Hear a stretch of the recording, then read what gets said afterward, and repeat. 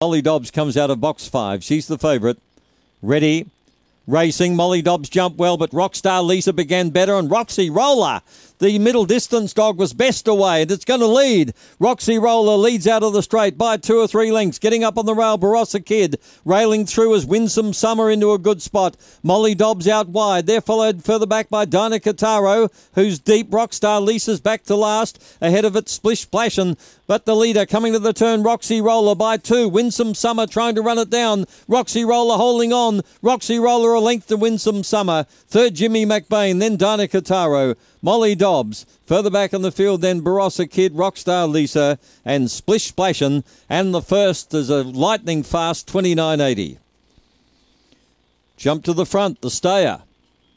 Number three, Roxy Roller. We made her the special last week. She couldn't get across from the eight.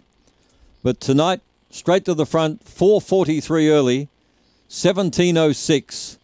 And the stayers run home, 12.81. Roxy Roller, the winner, beating Win.